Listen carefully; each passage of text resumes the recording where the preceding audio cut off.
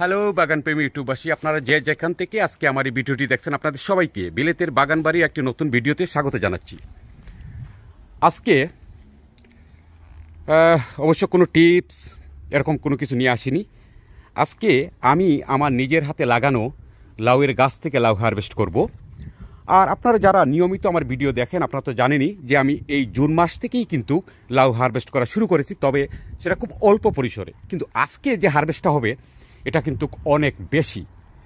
লাউয়ের গাছ থেকে আজকে অনেকগুলো লাউ আমি হারভেস্ট করব, সেটি আপনাদের সাথে শেয়ার করব। আর বিশেষ যে বিষয়টি নিয়ে আপনাদের বলব, সেটি হলো যে, এই যে লাউয়ের গাছগুলো আমরা দেখতেছেন, এই সবগুলো কিন্তু মাছার মধ্যে। হ্যাঁ এগুলো মাছার মধ্যে, কিন্তু আমি যেখান থেকে লাউ হারভেস্ট করব, সেটি কিন্তু মাটির মধ্যে। আর আজকের ওয়েদারটা যদি আপনারা দেখেন, এই যাব মেঘলা আকাশ আর গত কয়েকদিন ধরেই কিন্তু প্রচণ্ড বৃষ্টি হচ্ছে। ঠান্ডাও কিন্তু রাতের বেলা অনেক ঠান্ডা পড়ে। তো এই ঠান্ডার মধ্যেও এই লাউগুলো মাটির মধ্যে।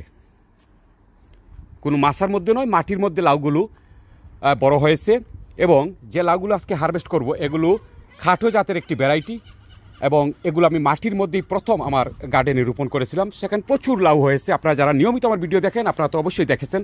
তো আজকে আমার একজন বড় বোন এসেছেন। এবং সাথে আমার ভাগ্নি এসেছে, তারা আজকে এই লাউগুলো হারভেস্ট করবে। আপনাদের সাথে শেয়ার করব। চলুন।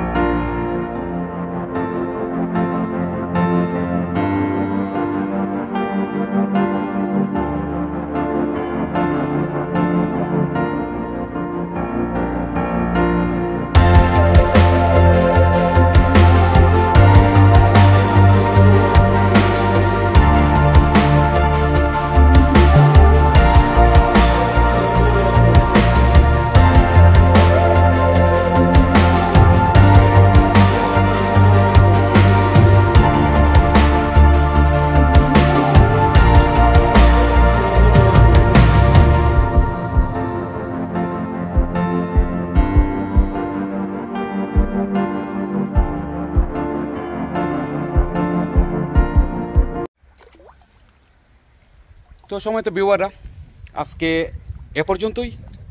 আপনারা সবাই দোয়া করবেন, আগামীতে যেন আরও বড় পরিসরে বিলেতের বাগান বাড়ি থেকে হারভেস্ট করতে পারি।